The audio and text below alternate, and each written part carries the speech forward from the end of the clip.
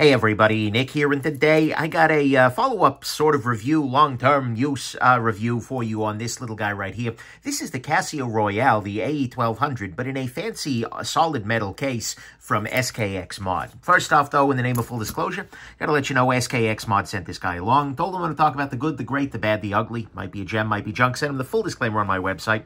They did still send it along. We do have to assume this is the very best quality controlled kit ever, and I'm doing my best not to let that affect the nature or the quality of my review. Next thing. Um, this is not what shipped to me. What shipped to me originally was the kit, the case. And in fact, if you want to watch that kit be assembled, if you want to see exactly what it looked like in that process, go ahead and watch my original installation video. Throw a link to it down below, but that'll show you everything that went on there and give you my very, very first impressions here. Um, now, at this point in time, uh, I'm going to go and, and just kind of follow up. But one important note is that the price has come down. It was originally 200 when I filmed that. They brought it down to 150, which I think is a very welcome change. So uh, today, I'm just going to answer and talk a little bit about the good stuff and the bad stuff and give you a sense of, you know, how do I feel about this now that it's been a little while. So on the good side, to start with, I do like the DIY element. I'm a big fan of DIY DIY sort of uh, gear stuff. And I think if somebody gives you tools and a kit and whatnot, you end up having a closer attachment to the thing that you produce than if they just were to send me this guy, right? By buying the watch and then adding the kit, it becomes something that's a little bit more mine than had they just sold me the watch with the kid on it. So I actually do appreciate that. I think, yeah, it's not going to be for everybody. Not everyone wants to sit down and do that. But for me, that was a joy. And so I like that a lot. Next thing, this does definitely feel more premium. Right, if we compare this to the original Casio Royale, this is an out-of-the-box sort of one uh, that I purchased. And what we see here is... Um, yeah, this definitely looks a little classier. Not only do we lose that black plastic sort of insert there, but the uh, the, the crystal, so to speak, is better. It just it ends up feeling and looking a lot more classy uh, relative to the original one, right? Um, one could argue that there were definitely aesthetic benefits to the black and whatnot. Oh, who knows? But uh, it is not really. Uh, it, it's not up for debate that this one feels more luxurious. It feels heavier. It feels a little bit more uh, serious, and the the solid metal construction feels way nicer than the plastic. So that's a nice thing.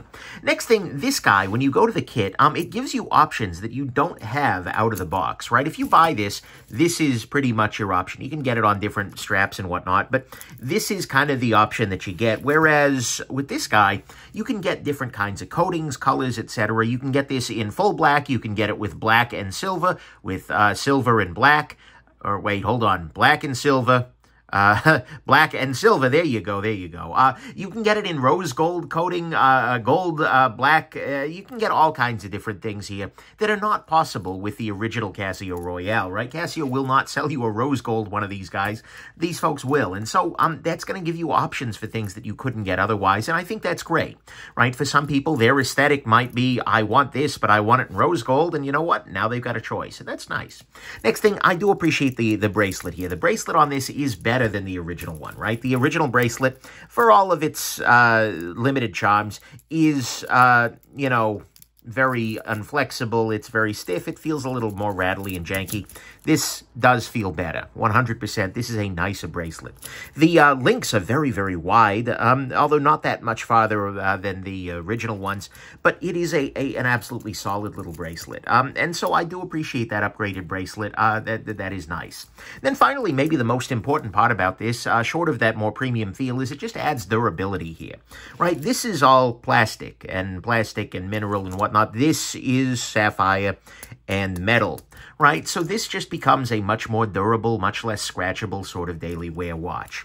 Um, that is a beautiful thing, and it's something I got to say I do appreciate. So to me, all that is the good is that it adds some durability relative to the original. You get a somewhat improved bracelet. You get options for colors and coatings that just aren't possible out of the box. It definitely does feel more premium, and I do like the DIY element. On the bad side, I gotta say, I do wish they'd gone higher end with the clasp, because the clasp on this guy is no better than the original, right? The original is, well, here, I'll show you. Here's the original, folded metal, whatnot, four quick adjust holes. This is basically the same thing, except without the Casio branding. Um, I wish that they had gone with something with a toolless quick adjust or something like that. Um, those are a beautiful thing. They're readily available overseas, and, uh, you know, I feel like that's an area where they could have made this feel a lot more premium. And it is particularly valuable to have the watch wearing right when the watch is top-heavy, and this is very, very top-heavy. This is a watch that is much, much, much more top-heavy, even though the thickness of it isn't markedly different. The fact that you've replaced a bunch of plastic with a bunch of steel means this is way heavier. And so as a result, this definitely feels a little more unwieldy on the uh, wrist. It feels a little less well-behaved uh, than the plastic one, uh, right? And so that is a thing. And it is, by the way, just plain heavy. That's the next bad thing. This is heavier by a pretty good margin. If I take my little scale here, I throw it down on the table, we see that this guy comes in at 4.76 ounces adjusted to my wrist, whereas the original comes in at 2.8. Yeah, that's a major difference there, right? This feels much, much heavier. So I would kind of like to see this in titanium instead, so it would be more close to the original there. But if you are a person, and I know that there are people out there who equate in watches heavy with good, like a good watch is a heavy watch, a, I don't understand you, but have fun. And B, you're going to love this, right? Because this is 100% heavy. Um, but for me, it ended up being sort of a demerit. Just like, whoa, boy, you know, putting this guy on next to the regular one.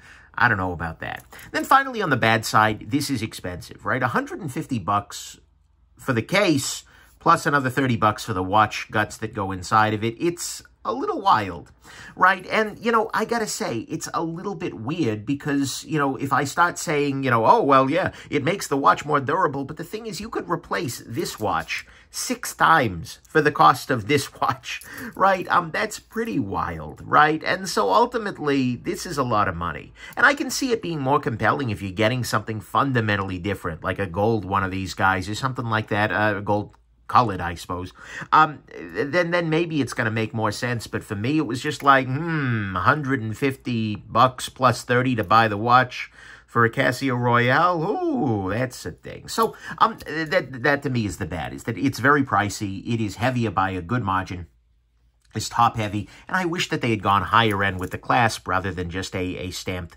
kind of foldy sort of affair. Final conclusion, this is actually something I that ended up going a little differently than I figured it would. I figured that to me, this would end up being my favorite Casio Royale ever. And I say that because, well, for a few reasons. A, I tend to like metal over plastic. That's just the my aesthetic, I suppose. Um, and I, you know, I like the Royale and whatnot, but I figured this would end up being my favorite Royale that has ever happened me, right? Um, and so, and it, it would make sense, right? Because you're taking a good core watch, you're doing some DIY modification, adding a more premium feel with different coatings, different, uh, better bracelet, and more durability to the whole thing. Um, all of that sounded really good, but it is still low end in the in the bracelet and the clasp area. It is pretty top heavy. It's heavy generally, and it's just pretty expensive overall. And ultimately, I kind of end up feeling pretty ambivalent about it, right? I like it because it adds quality to a watch that is already pretty good, but I dislike it because it adds huge cost and weight to something that was previously light on the wrist and on the wallet. But most of all, and this is sort of a very hard thing to uh, kind of discuss meaningfully, it changes the essential nature of the thing, right? The Royale is light and it is cheap and it is a bit janky, but it is also charming in being light and cheap and janky, right? This is a watch that you buy because, well, it really won't you're not spending so much money. Life is good, right? Uh, whereas the Royale with case here, as they call it in France, is something very, very different. It's not bad. I'm not saying this is worse. I'm just saying it's very different. And putting this on to me does not feel like the same thing as putting this on. They are very closely related. They are very similar in a lot of ways, but to me, uh, this is a different watch to wear than this one is. And I think most days I, I would reach for the original, because if I'm wearing this, I want something that's inexpensive, that I can beat up a little bit and not worry about it, and that just kind of disappears on the wrist, um, whereas this is a little bit less that. I think that, though, you would have a very different experience if you went with a different version, right? I went with this kind of sterile version because, well, I tend to like metal, right? I tend to like that. And, but if you went with like a very polished version, or if you went with a, you know, rose gold, a gold tone or something like that, then what you are getting is something that is, well, fundamentally different, right? You could not have gotten a rose gold version of the, the, the Royale uh, with this. It, it is not a subtle change. It is something fundamentally different. And so if you have always wanted a rose gold royale and this is your route, then by God, you're probably going to love it, right? The other reason you might love it is if you've always liked the royale, but you've always felt like, God, that's so cheap and light. I want something big and heavy. In this case, yeah, that could definitely be a thing. But if you are in a position where you want the rose gold or you want the big and the heavy, this is a case where the downsides are just the cost of admission to a watch you've wanted all along. In that case, it's really not going to matter to you much. The things that are negatives here, yeah, they're going to be a little bit negative still, but at the same time, you're getting a Rose Gold Royale finally.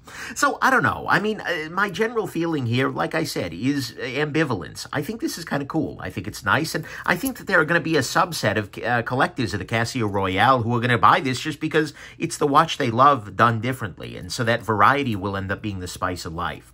But what I would say most of all is that if you're already a fan of the Casio Royale here, then you've already got a great watch. This kit won't make it better, but it will make it modified. And so, there you go. That's where you end up. If you want the modification, and if you're willing to pay the price, then go for it. But otherwise, I think you should enjoy the great watch that you already have. So there you go. Hope this has been interesting to you, and have yourselves an absolutely wonderful rest of your day. Bye now.